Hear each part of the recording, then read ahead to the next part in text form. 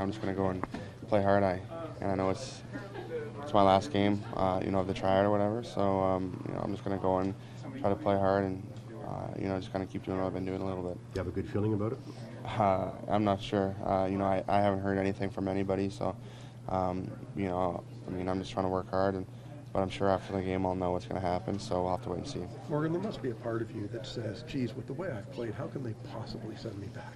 Uh, like, like, and that would just be inner confidence. Yeah, yeah, I think so. But I think I also have to have to see that you know we have some some pretty good players here, and you, you know to go back to junior wouldn't really be the end of the world. But I mean, um, you know that that could possibly happen still. So we just got to wait and see. You're comfortable with the way you've played?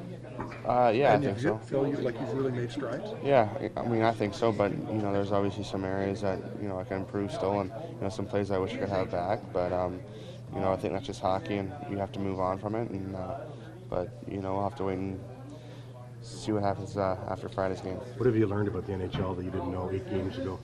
Um, probably the pace of it, um, and uh, and also the grind of it. You know, we played a lot of games here, and you know, um, you know, we're practicing a lot and we're traveling. So you know, it, I mean, it's tough, but uh, you know, you you have to do it. You have to work through it, and you know, just kind of keep playing.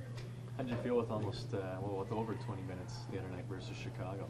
Uh, it, it's great, but you know, I'm not too worried about how much I'm playing or anything like that. But you know, it's it, it's always nice when you get a chance to play, and you know, it uh, you know, it's always good for the confidence. Does it bring your game up though? Like, is Yeah, yeah, I think so. where- Yeah, well, I think when you're always out there, you get a bit more comfortable, and you know, you got a high pace, and um, yeah, it helps. You gotta like the minutes though, 'cause the confidence they're showing you. Because the original idea was 12 to 15 minutes a game. Yeah. But that hasn't really happened at all. Uh, yeah, but you know, I think it's just a matter of um, you know trying to just improve every shift, and you know just just keep getting better. And you know, with that, I think we got more ice time. But um, you know, I mean, it's been going well so far.